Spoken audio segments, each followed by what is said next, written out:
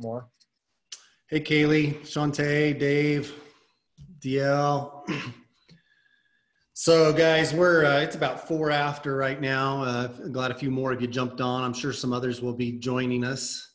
Um, but I'm going to just out of respect of everybody's time, get going and introduce Jeff and let him get started on our uh, short-term uh, rental investment training today. So I met Jeff because uh, he runs a management company called iTrip.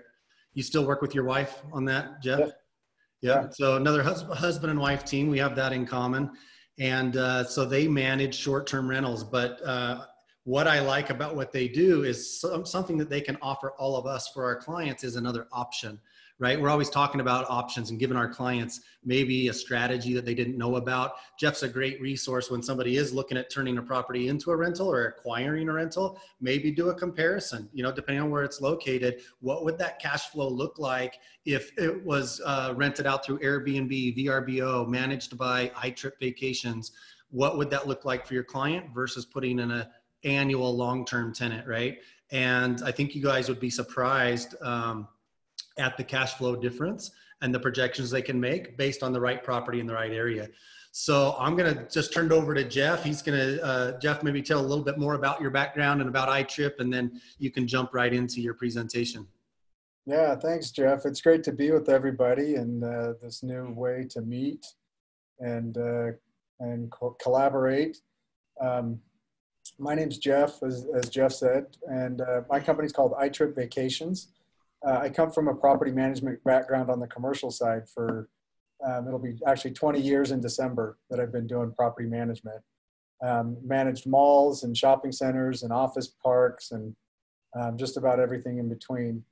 And uh, we, we got into iTrip last year. We just launched. iTrip is based out of Nashville, Tennessee.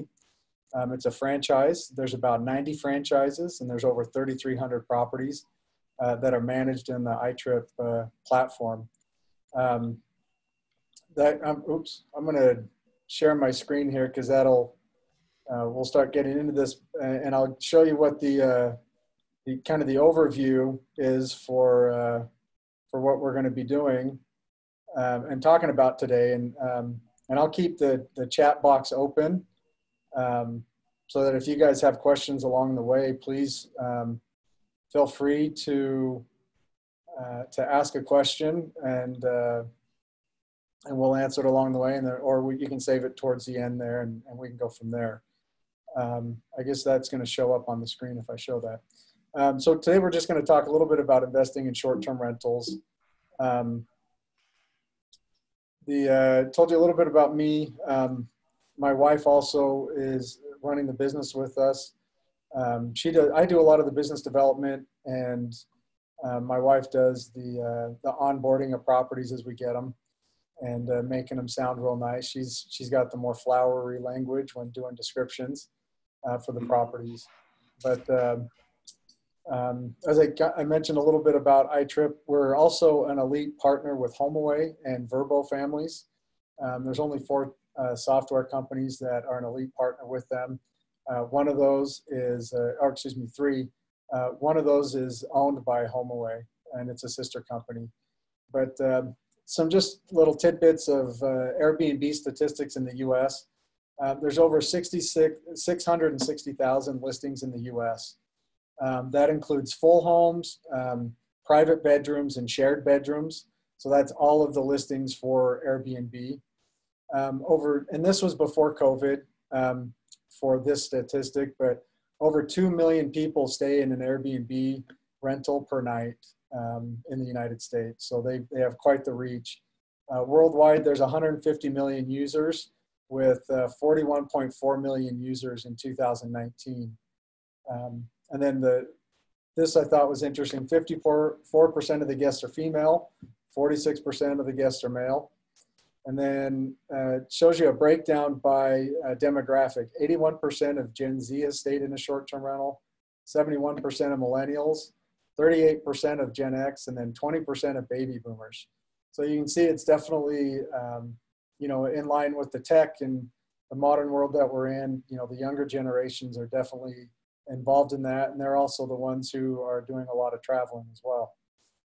Um, so what we'll go over with this, just a little bit, we'll talk a little bit about do-it-yourself versus professionally managed.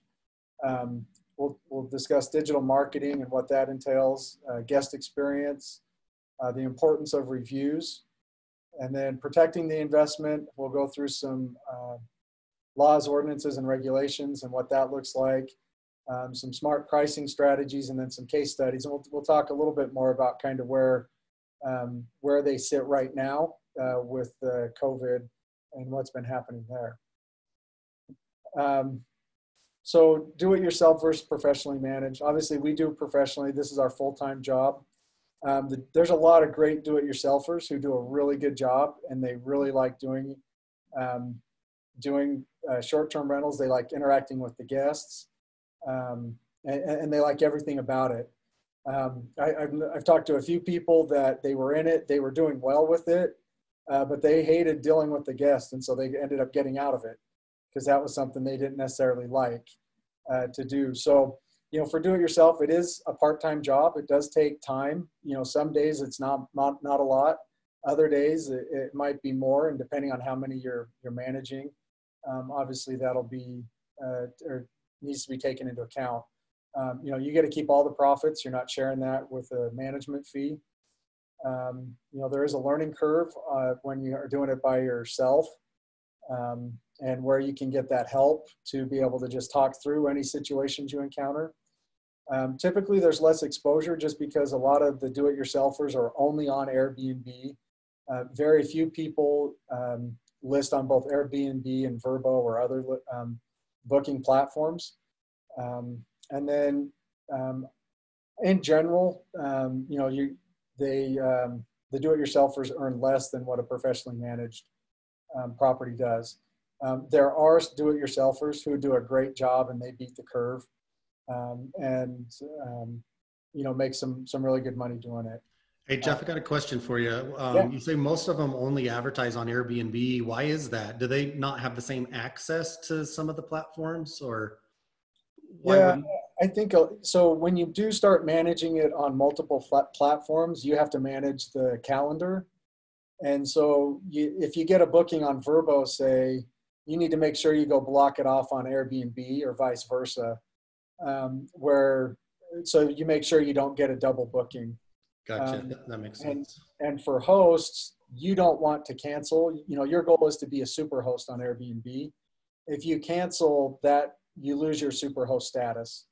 Um, so that helps you avoid, you know, they just don't have to manage two calendars is what it comes down to most of the time. Um, and so that's where, you know, for, for somebody like us, we have the software that manages the calendar. So when someone books um, on Airbnb, it blocks out the calendar on all the 80 other plus booking sites that we're um, marketing on. So that's probably the biggest thing is just you know calendar management and not wanting to pay for uh, the additional software to do that. There is software to do that um, to help people do that but it does come with a cost. So um, you know we do charge a management fee. Um, what you know we our fee is to be able to free up the time for the owner. So that's one of the advantages. The owner just doesn't have to worry about it. Uh, we literally just send them the money at the end of the month. Um, you know, we're, we're experts in the field. We have access to not just um, what we have, but, you know, we talk to the other 90 franchises. We have weekly calls. So we hear about what's happening in other parts of the, the country and what's working and what's not. Um, as I mentioned, we're, we're listing on over 85 different listing sites, so the exposure is higher. Um, and typically, because we're on so many different listing sites, the gross revenue is higher, and we can usually justify our management fee um, for the owner just by earning you more money and then uh, freeing up your calendar. So, uh, but so, like I said, some people really enjoy it. My parents have a, a neighbor who rent out their basement um, and they love it. They get to know their people. They take them cookies, they make them brownies, they feed them brunch. Um, they really enjoy doing that, and you know it helps them make make ends meet a little bit. Um, so digital marketing um, you know, that's the marketing on Airbnb or Vrbo or, or these other listing sites. Um, the way that they typically work with these sites is um, the, the higher um, quality of photography that you have gives you a higher score, which ranks you higher uh, in the listing. So when somebody goes in there and they say, I want to go to um, Solitude and, and go skiing, and they put in Solitude, the algorithms that they have will be able to see that, oh, this listing has higher quality lit photography, so it bumps you up and gets you on the first page. Um, so professional photography is very important. Um, it also, you know, enables you to be able to really showcase your property. Um, there's examples out there that, you know, just someone with their cell phone and it's dark, you can't really see what's going on. Um, that doesn't really help with being able to sell your property. Um, pictures are what sell the property. So, um, you know, headlines, taking advantage of the headline um, on the listing site. Um, you know, don't state the obvious. And, and we'll actually have an, an example here. Um, but it, you know, people know that they're looking for a three bedroom. You don't need to state that you have a three bedroom in the headline. Save that space for being able to highlight your views or your location um, or your hot tub or the pool or your games or whatever else you have. Um, you know, describing and putting descriptions into each picture is important. It helps with the SEO strength.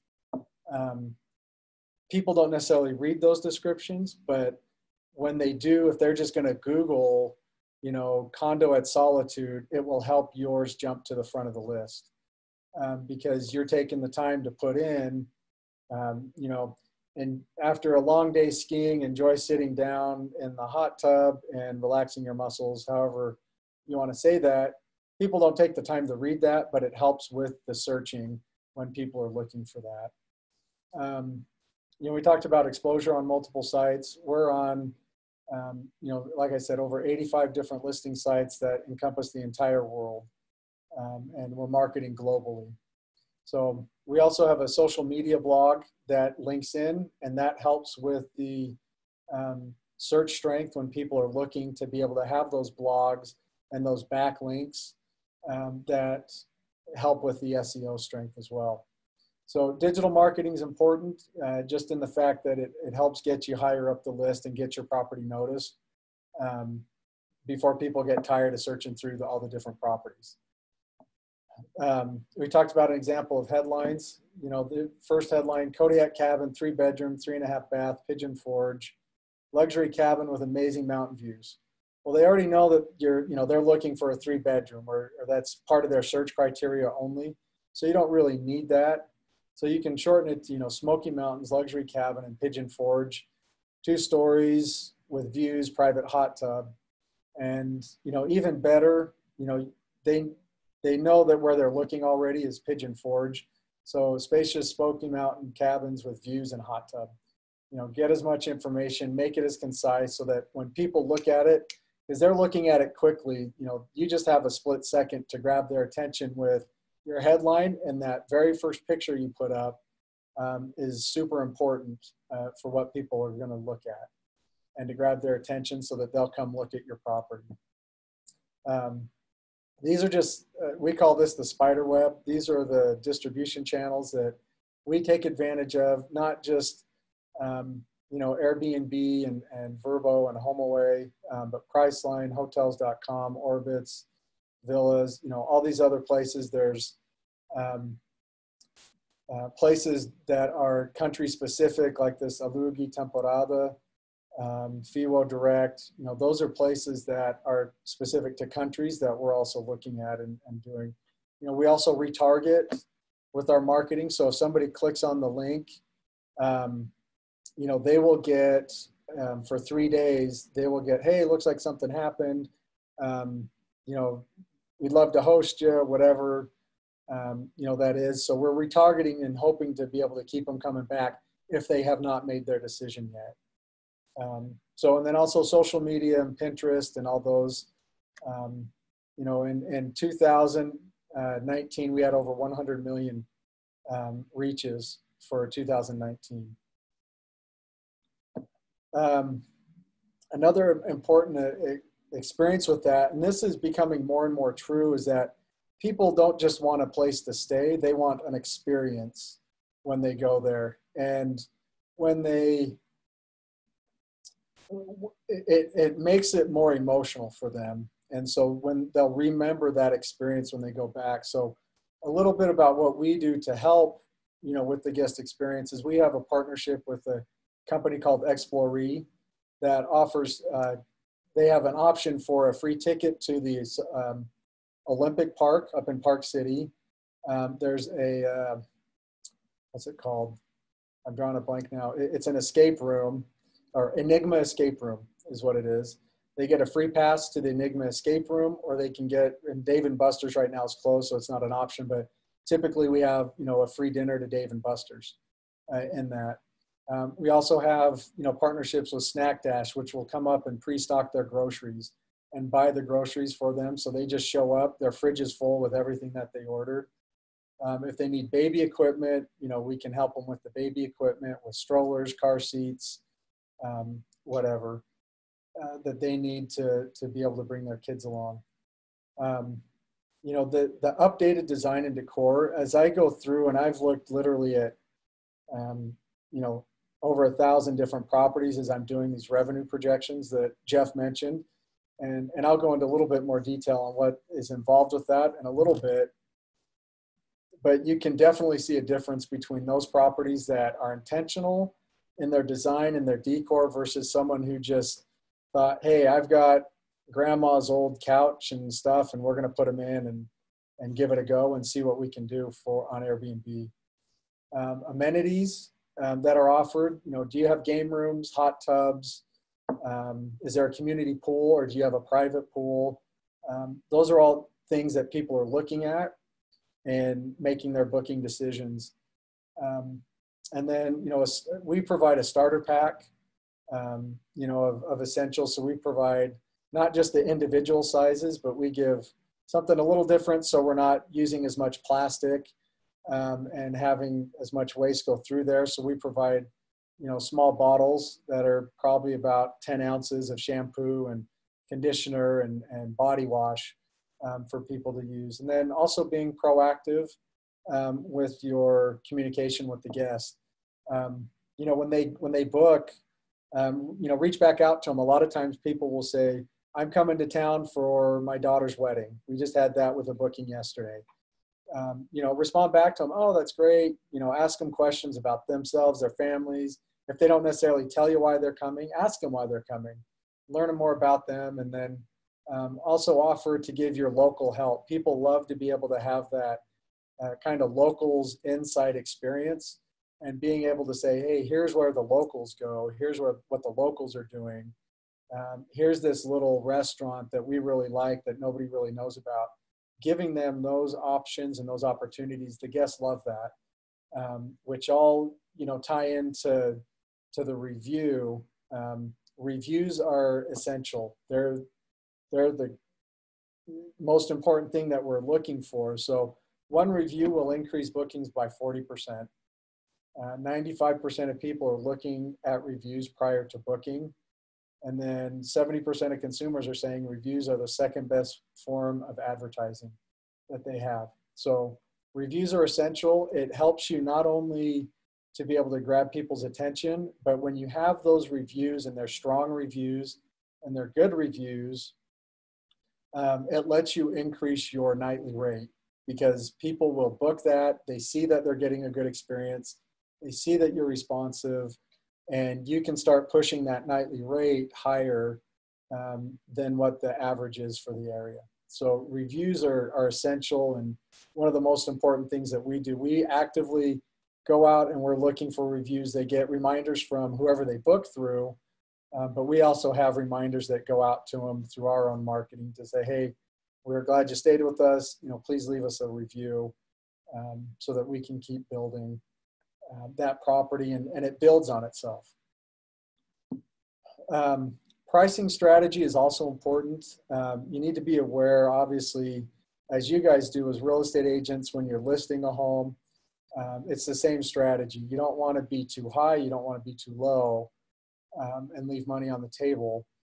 Um, part of what we do when we start a property, we put it just a little bit below, you know, say the average market uh, nightly rate because we want to get bookings and you want to drive the traffic there, get the people in. It's not about making money those first three to four months, it's about getting the reviews.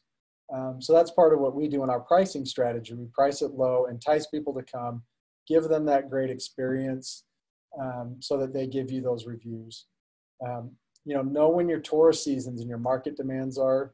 A lot of people just set it and forget it. They look at it, they might do the research, they say, you know, the average nightly rate is a $100 a night, and they just put their entire year at a $100 a night and let it go.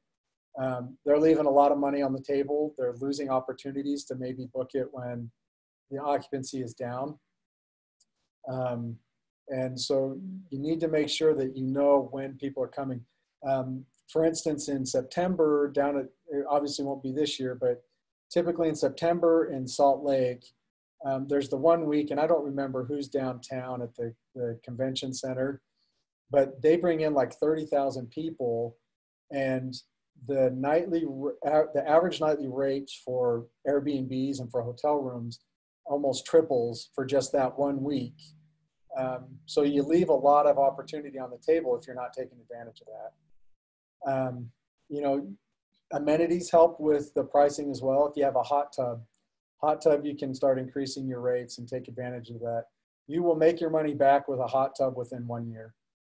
Um, you know, game rooms, if, if you've got a pool table or a ping pong table or something else or a card table um, or a theater room, um, those are things you take into account as well. And then you want to be transparent. You don't want to hide anything so that when people book that they um, they get some surprise fees.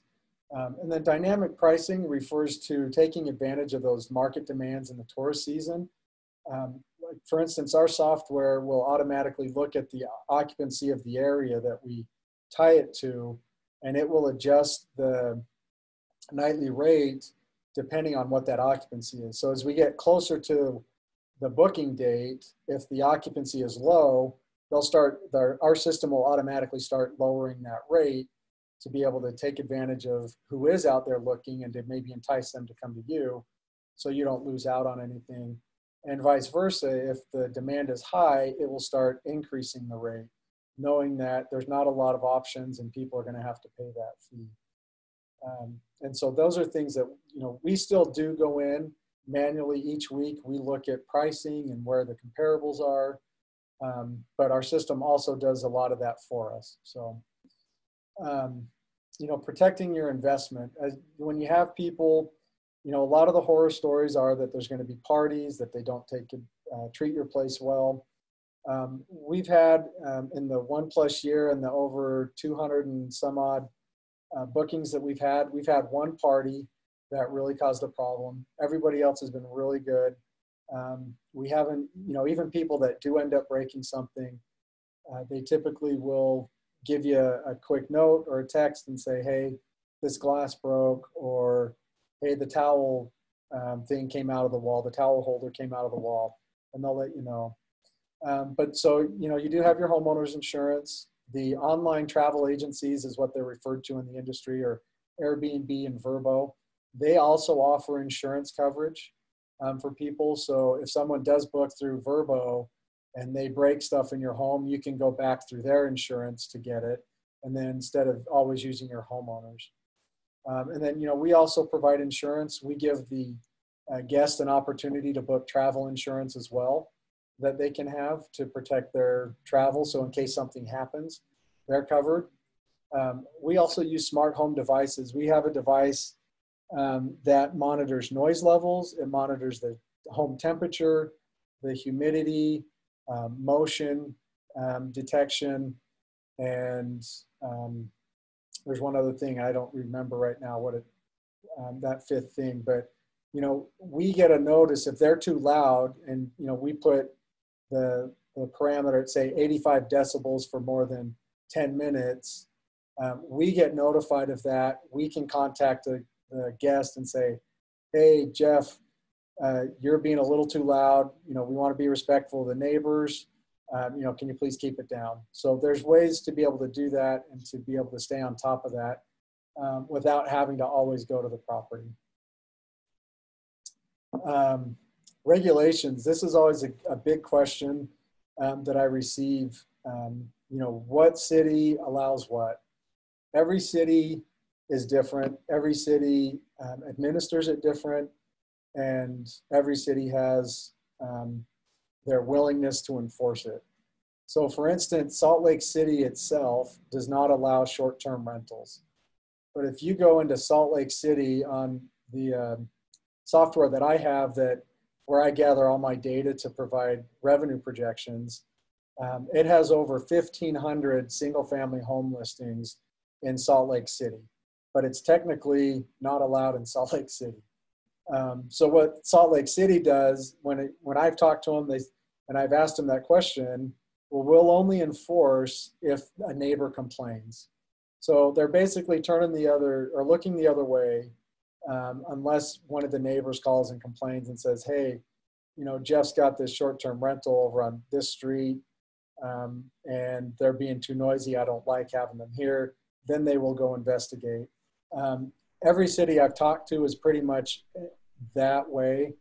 You do get more enforcement with smaller cities. So, for instance, Washington um, City down down south, they are a little more strict with their enforcement. So is St. George. Um, you go up to Huntsville, um, they're more strict because they have the resources to do that. But some of these bigger cities like Sandy, um, you know, they have some allowances for short-term rentals, but they don't have the resources to just send somebody out and enforce that day in and day out. So again, they just look at if a neighbor complains, we'll enforce it. And a lot of that stems from this House Bill 253 that passed in 2017. Um, it basically says that a city, what the cities used to do is they used to go onto Airbnb or Vrbo and look and say, hey, this house is listed as a short term rental, and they start finding them or cracking down on them. This House Bill 253 said, you can't do that. It's a free speech issue. They can go list it wherever they want. You have to get hard proof that people are actually staying there as a short term rental. Because if nobody's staying there, they technically haven't broken a law or your city ordinance, except when somebody stays there. So just because they have it listed, you've got to go get hard proof.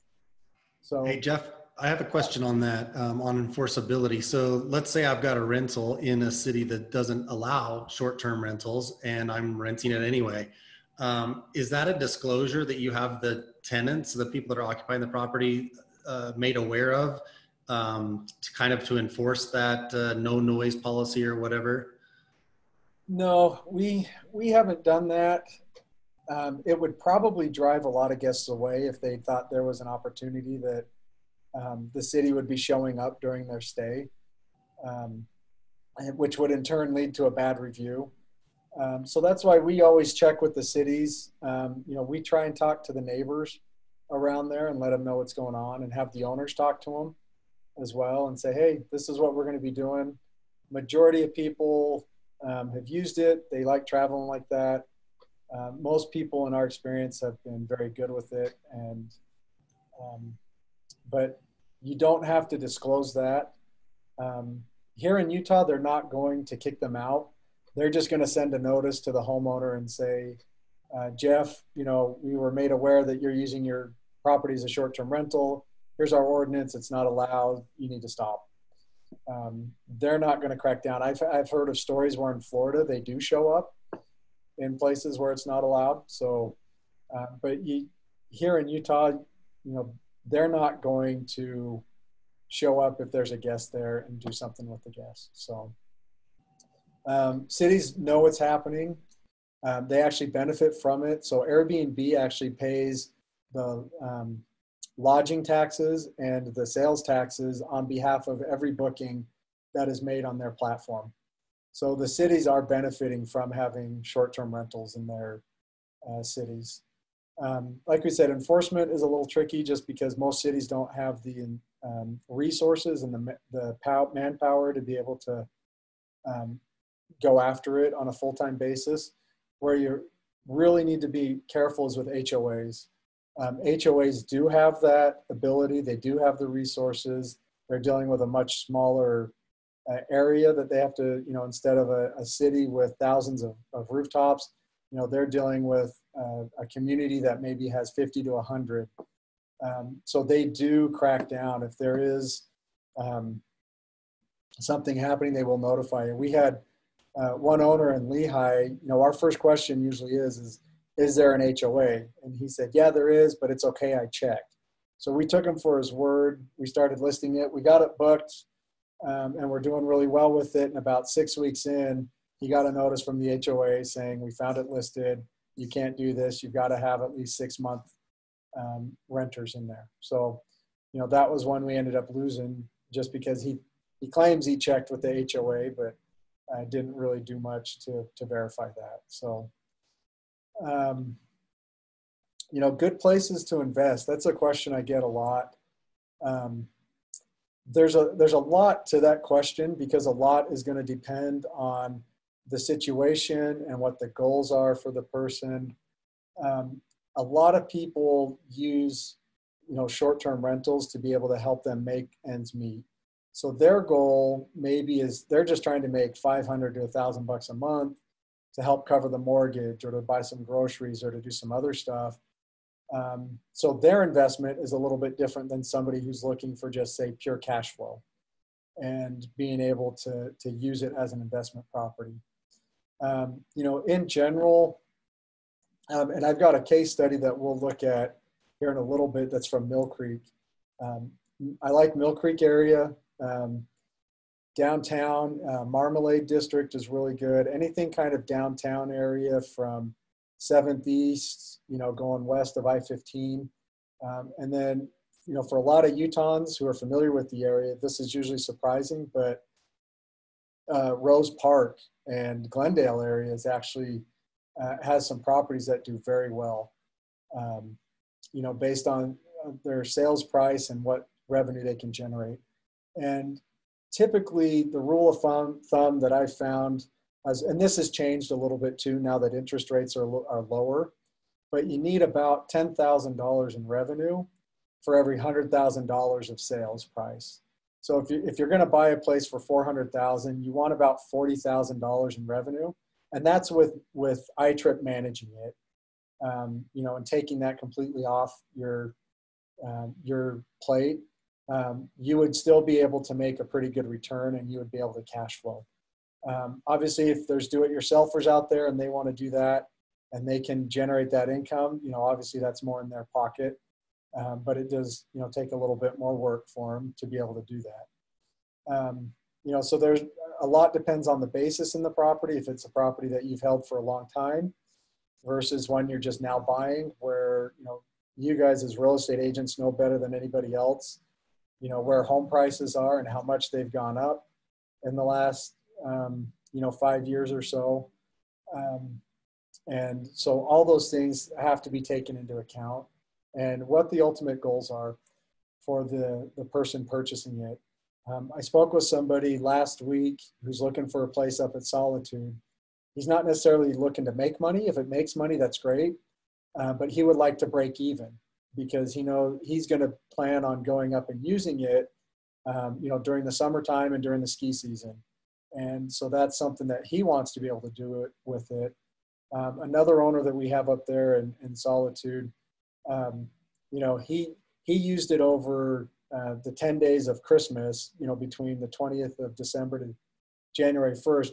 That's the highest rate up at Solitude is over Christmas and so his goal is just to use it for the enjoyment of he and his family, and everything else it's just you know kind of gravy on top. So he doesn't really care about breaking even. Even um, you know he just wants it for use of his family.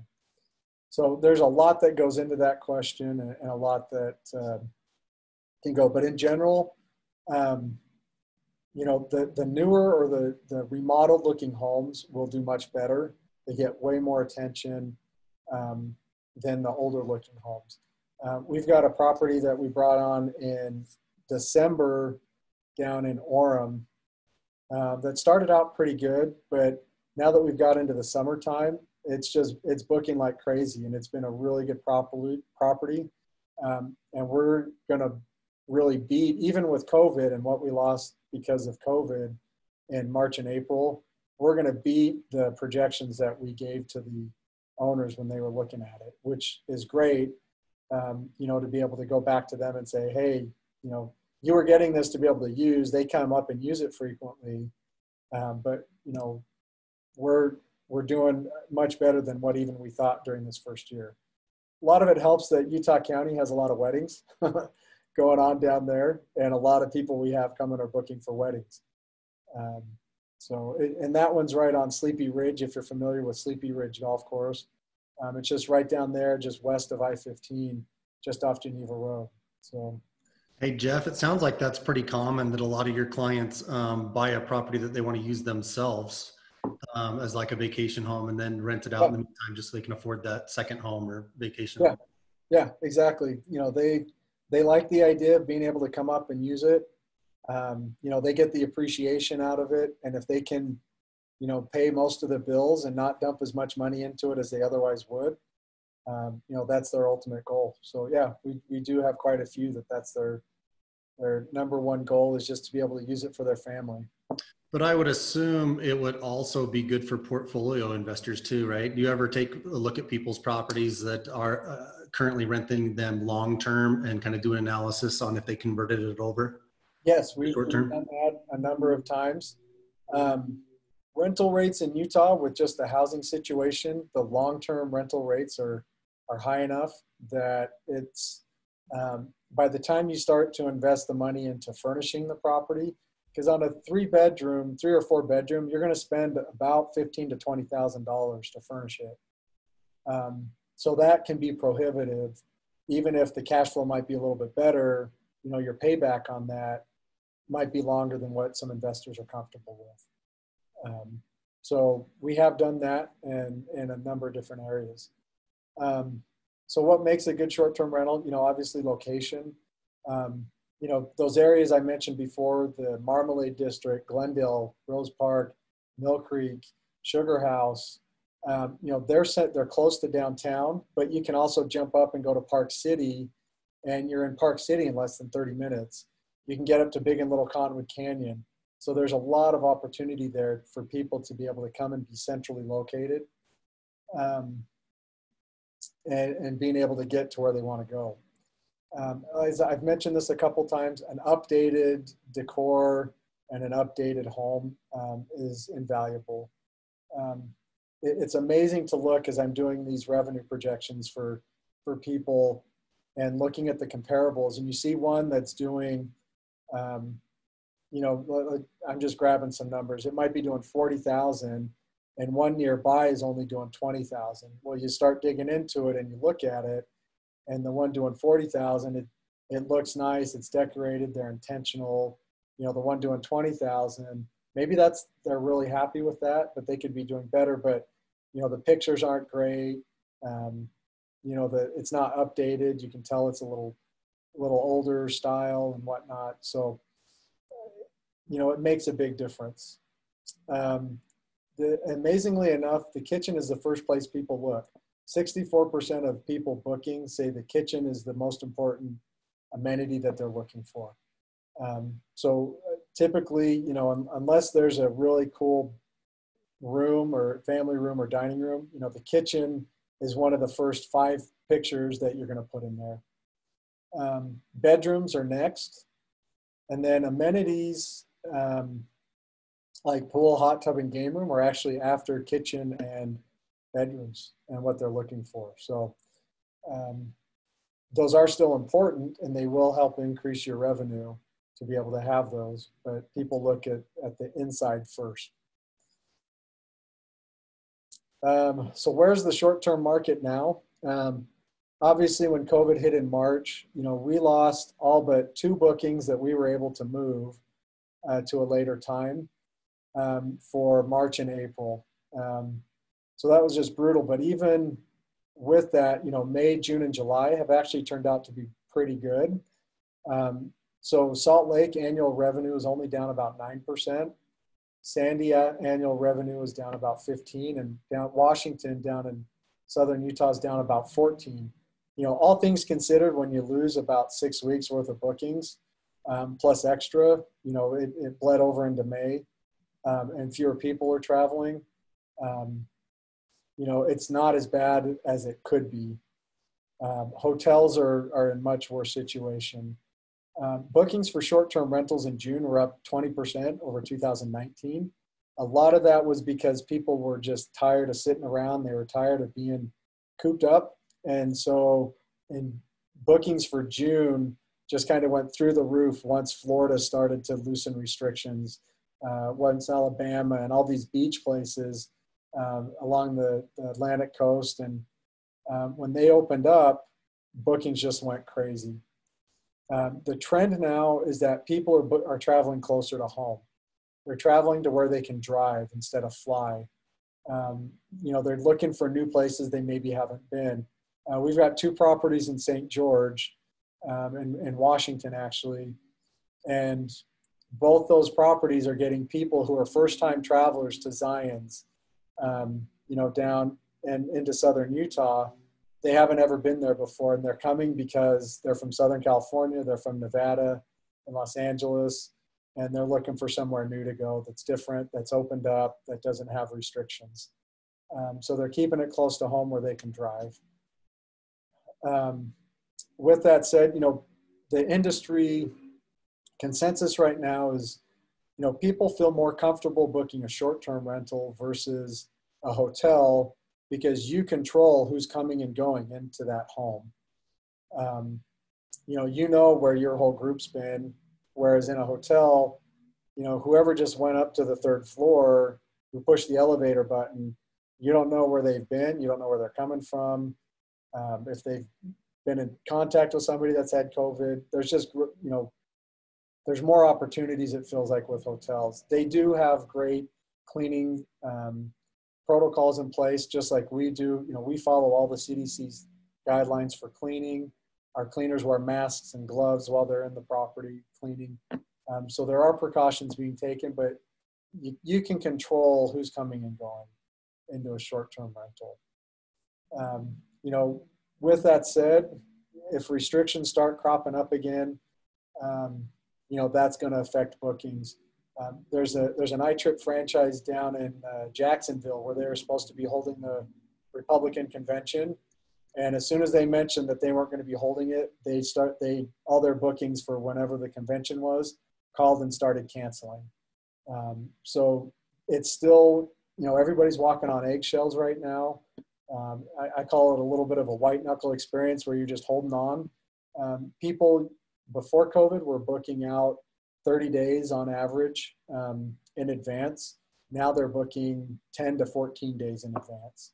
So people are waiting to make sure that, hey, I want to go somewhere, but I want to make sure that I can get to where I'm going and not have to have it canceled or have things shut down. Um, here's a, just a quick little case study. Um, this is a different one than I did last time, Jeff. Um, it's, uh, it's updated. It's, it's in Mill Creek. It's on 39th South and about 4th East. It's actually some townhomes where they do allow short-term rentals. Um, it looks like that didn't save. It's actually a three bedroom, three bath. And, uh, you know, it's uh, the uh, average. So this is part of what I'll do for you as real estate agents is put together these revenue projections. So their revenue projection started out at about 44,000. Um, and then we put kind of, we look at the highest performing properties um, that are in the market and we say, here's what our target is there is a ramp up period. You know, you don't just list it and all of a sudden you're getting bookings. Those first two to three months, you will receive bookings and you'll get people coming. Um, but to be able to get it to where it's really humming and, and a well oiled machine, it takes three to six months to kind of get there. That's what's happening with this Orem property. You know, we started out good. Uh, we had bookings, we got the good reviews, and now that we've got those, it's just it's really booking, and that's the one I was really surprised yesterday on that property. We got a booking for October, um, which just hasn't happened that far out since uh, March. Um, so that's what this upper number is. This is kind of saying, hey, here's where we think we eventually can get to. Um, but here's the average. And what we do is we just look at the comparable properties. We look at their average occupancy and then their average nightly rate. Um, and we provide this to you as the agent. And then you as the agent can take this to your client and say, hey, here's some information that we have. This is where it's coming from. And it gives them a good sense of um, what they can actually do in this. And you can take it and look at it as a long term, or if they're just trying to buy it because they want to come and stay and visit family, and they say, "Oh, that's great. I can maybe pay for most of it um, with that." So this is this is one of the services that I offer for agents uh, to be able to help you guys help your clients um, and be able to close deals. Um, this just shows where the comparable properties are. So this is the subject property. These other little spots are the comparables. I, I usually just take five of the comparables to put in there. And so, you know, we've got the five down in here, um, and then it gives an average, and that's where we're coming up with that. Um, you know, a lot of properties, depending on what they have, obviously can perform better than the average. Uh, but we just kind of take what's out there and, and give you a good idea of what to expect. Um, this, this spreadsheet here is something I also will give to agents to use. It's not fancy. It's just a simple cash on cash return to be able to look at it. So these purchase price for those townhomes are 419.9. Um, you know, there's what a down payment would look like um, for each of these different options. The revenue, oh, I didn't fix that. That didn't save. Um, you know, there's the management fees taken out, the HOA and utilities, we plug that in. Um, we calculate the mortgage, we estimate the taxes and insurance, and then we give you a before tax cash flow and then a cash on cash return. Um, you know, so all you really need to fill in is the yellow spots and then which, you know, I'll give you the revenue the HOA, you know, and utilities can usually be pretty well estimated. And then you know what the purchase price is to kind of get, and then you need to know the interest rate. Um, this might be a little high. I took it a little higher than than what rates are now. I talked to a lender I know, and he said you can get anywhere between three and a half to four right now is a really good rate to 4.2 for uh, an investment property. So that's where where that came from. But you can see that um, you know, just a little bit over a 5% return, plus you're getting that appreciation. Um, and you get a place to stay if you want to use it when it's not being used, um, which saves you money on hotel or, or other travel expenses. Um, so what, you know, we discussed a little bit for your buyers and for your, um, your clients, we'll give you a rental forecast. Um, it, it includes details. This first page is just a summary um, if someone just wants to know what the bottom line is. Um, it gets a little bit more detailed about who we are, about iTrip Vacations, um, some testimonials. Um, you know, this page starts diving into the details as far as what the net revenue is. You know, it shows what the gross annual revenue is, and then what the occupancy is, and then this is in the blue here. This is what the owner can expect in their um, into their pockets each year. Um, for those people who are a little more sophisticated, you know, and, and want to know what cap rates are and know what cap rates are, you know, it calculates a cap rate for them to be able to compare their different options for investments. Um, you know, we give you an analysis on the average daily rate and kind of where that's going to fall in. Um, you know, where where it drives bookings. You know, the upper end is where there's um, you know, there might be a big event in the area, so you're being able to push it, or the lower occupancy times where your rate's going to end up uh, just to drive occupancy. Um, this showing you this page with just the comparable properties and what they are.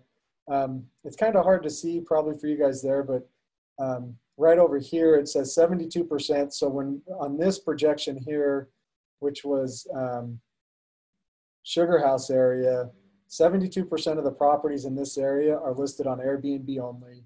11% of the properties are on HomeAway only, and 17 properties are listed on both.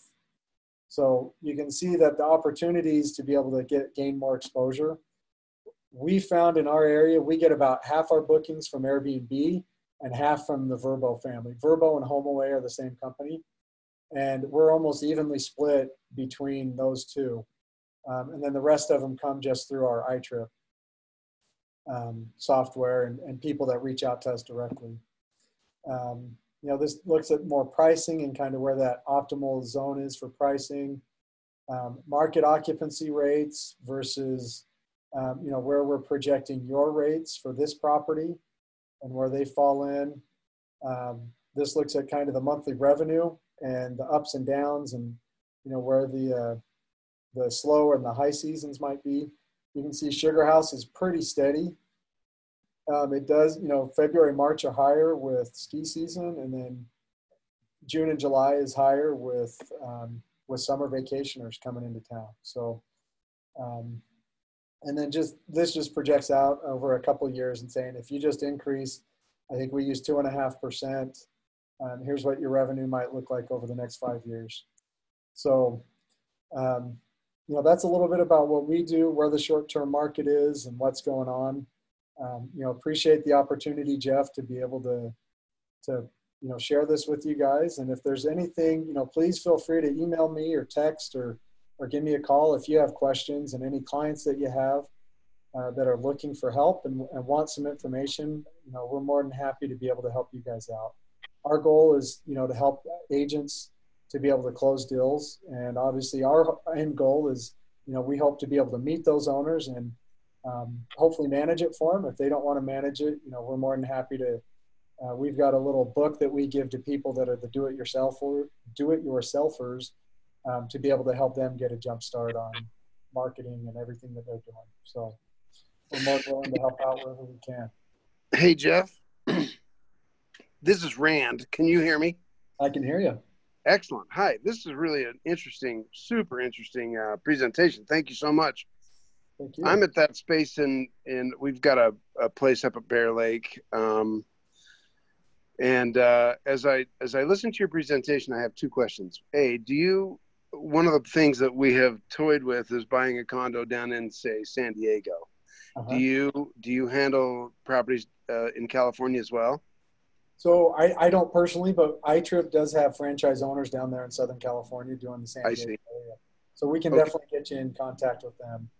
All right. Let me let me pose one more question, and I shared it with Jeff. Um, when when you're talking about it's ill, you know, against the ordinance in a particular city, you know, for me, um, I happen to be married to uh, uh, Jesus' sister, so. Um, anything that might be even considered considered illegal or you know what I, I guess what I'm trying to get at is could that come back and bite you in the butt? You know, let's say you, you we we rent it, you know, we bought a place here in town, um, but it's against the ordinance. To me, that is a you know that's a red flag. I mean, is can you speak to that for just a sec? Yeah. So every city. So I've talked to the the city planners um, at Salt Lake, Murray, uh, Cottonwood Heights, Sandy, and Draper. Draper, by the way, is is legal. They don't have any ordinance. Um, and Draper, we've got two properties in Draper that are really doing very well. Um, so Draper's not an issue. Um, all four of those other cities, when we've talked to them, and we say, what are you know? I, so here's here's what I do when I call. I say, hey, what are your rules? I'm interested in possibly doing a short-term rental. What are your rules for your city? And they'll go through their what their rules are, and I say, okay, great, thank you. What about the ones that are existing that don't that aren't you know that are are not legal? What what do you do about those? That uh, you know, for instance, Salt Lake City, it's it's not allowed. Period. There's no there, there's nothing like Sandy and Cottonwood Heights.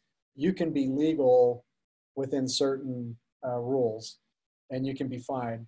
Murray and, and Salt Lake, it's technically not legal at all, but both cities have said, yeah, we know what's going on. We don't do anything unless a neighbor complains. I mean, that's literally what they've said is we don't do anything unless a neighbor complains. We don't have the resources to be able to be actively enforcing what is going on and to be able to go after these illegal um, short-term rentals. Great. So it, is, it is. You have to be able to be flexible. So is what I tell people. If if you're going to do it, you know your chances of being caught are pretty slim. But if you get caught, you know transition over to a long-term rental, and uh, you know go go that route if you want. So. Great. Thank you so much. Yeah. So Jeff, I think you kind of answered uh, the question when you were talking to Rand about San Diego. I know we got some uh, people on the phone here from other states, so they can just reach out to you uh, directly, and then you could help them find the person in their area that might, uh, Yeah. be able to do these type of projections for them as well. Yeah, absolutely. And that's where, you know, for, for iTrip vacations, where we feel like our niche in the market is, is instead of me trying to say, hey, here's what San Diego's like, I honestly don't have a clue about anything in San Diego. But I can refer you to somebody who has that experience. They're the boots on the ground, and they can give you much better detail and information than what I ever could.